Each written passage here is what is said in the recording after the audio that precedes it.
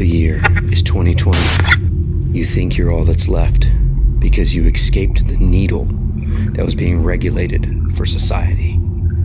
You wander and drive daily in hopes to find someone else that hasn't been infected. If you received the vaccine, you have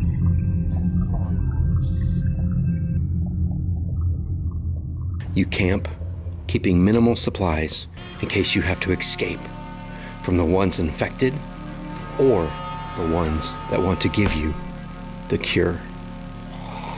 You hear things in the day, worse things at night. Suddenly, in the distance, you hear walking. They're here.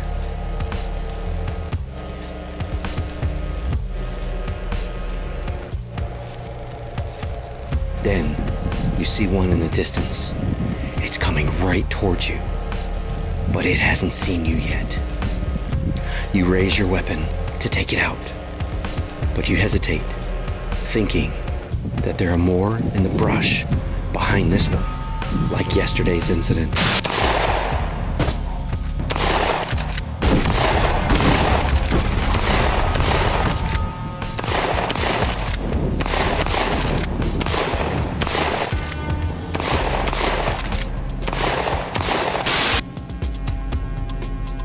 Then, out of nowhere, an arrow silently breaks through the air and takes it out right in the head. What the?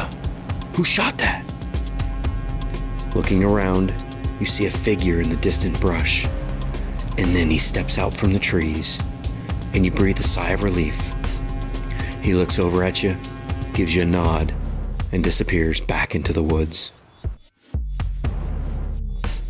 In this moment, you are now certain that there are more out there like you that are not infected. You grab your tools and head for your hideout with a sense of hope, knowing that there are more like you.